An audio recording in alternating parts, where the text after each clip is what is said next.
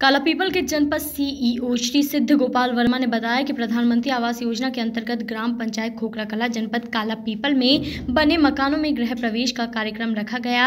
यह मकान लॉकडाउन अवधि के दौरान प्रधानमंत्री आवास के हितग्राहियों के द्वारा पूर्ण कराए गए हैं, जिनमें गृह प्रवेश का कार्यक्रम पूरे विकासखंड के अंतर्गत एक साथ रखा गया। इसी उपलक्ष्य में ग्राम पंचायत खोखरा कला में प्रधानमंत्री आवास की हितग्राही श्याम लाल विश्वकर्मा को सरपंच रामेश्वर पाटीदार व जनपद सदस्य भेरू लाल विश्वकर्मा द्वारा साफा बांधकर व तिलक लगाकर सम्मान किया गया। इस मौके पर सरपंच रामेश्वर पाटीदार, जनपद सदस्य भेरूलाल विश्वकर्मा, सचिव बल्लभ शर्मा, सहायक सचिव प्रियांशु गुप्ता, कोटवार राधेश्याम अनोखी लाल, अलकेश व ग्रामीण जन मौके पर उपस्थित रहे।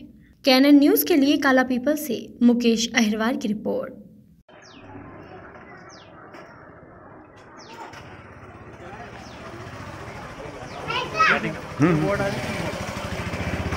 नमस्कार मेरा नाम रमेश विश्वकर्मा है मेरे पिताजी का नाम श्यामलाल जी विश्वकर्मा है। मैं निवासी ग्राम खोपड़ा कला, जनपद कलाईपुर जिला शाजापुर का निवासी हूँ। पहले मेरा मकान कच्चा था, फिर प्रधानमंत्री आवास द्वारा मेरे को एक आवास प्राप्त हुआ और लॉकडाउन की वजह में मैंने मकान बनाया।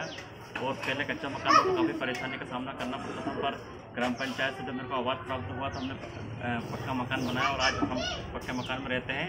आज गृह प्रवेश कार्यक्रम माननीय अधिकारी सरपंच साहब जी जनपद द्वारा संपन्न हुआ। मेरा परिवार बहुत खुश है और आप आज से मकान में प्रवेश कर रहे हैं। धन्यवाद